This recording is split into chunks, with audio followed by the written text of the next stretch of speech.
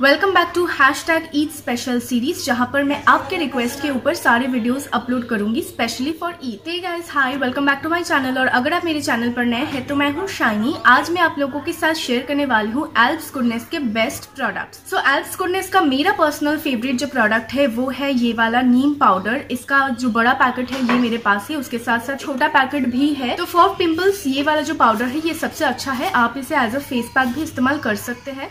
Next product है ये shampoo ये है एल्प्स गुडनेस का स्विस लव कैरेटिन शैम्पू ये शैम्पू बहुत माइल्ड है और अगर आपके ड्राई फ्रीजी हेयर है then this will be very good for you क्योंकि ये बहुत ही माइल्ड है और बालों को उतना ज़्यादा ड्राई भी नहीं करता और एकदम स्मूथ एंड सिल्की बनाता है। जितने भी प्राइसेस है वो मैं स्क्रीन पर मैंशन कर दूँगी।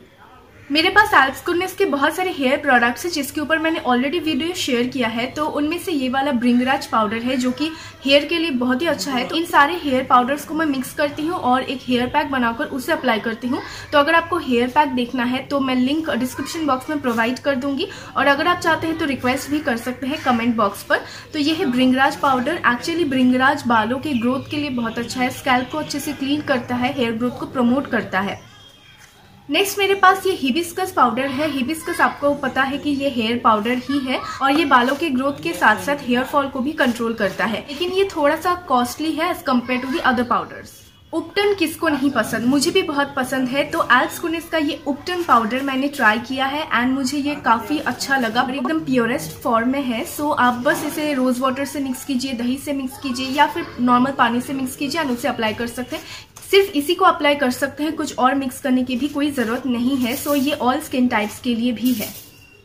नेक्स्ट मेरे पास है ये बीट रूट पाउडर मैं इसे फेस पैक में मिक्स करके इस्तेमाल करती हूँ, बस थोड़ा सा क्वांटिटी में ही चाहिए इस पाउडर को सो आप इसे ज़रूर ट्राई कर सकते हैं। अगर आपकी स्किन में थोड़ा सा ग्लो चाहिए आप तो आप इसे ज़रूर ट्राई कर सकते हैं। नेक्स्ट मेरे पास एल्स कुनेस का ये आंवला पाउडर है। ये बालों के लिए बहुत अच्छा है एंड जैसे कि आंवला बालों के लिए बहुत अच्छा है वैसे ही एकदम प्योरेस्ट फॉर्म में आंवला पाउडर है। मैं इसे एकदम अलग से नहीं इस्तेमाल करती एक हेयर पैक बनाकर ही इस्तेमाल करती हूँ।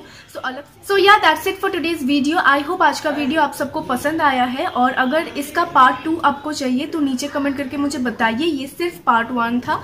वीडियो को लाइक एंड शेयर कीजिए और अभी तक मेरे चैनल को सब्सक्राइब नहीं किया है then subscribe and hit the bell icon आज के लिए इतना ही। Stable stay healthy. Bye bye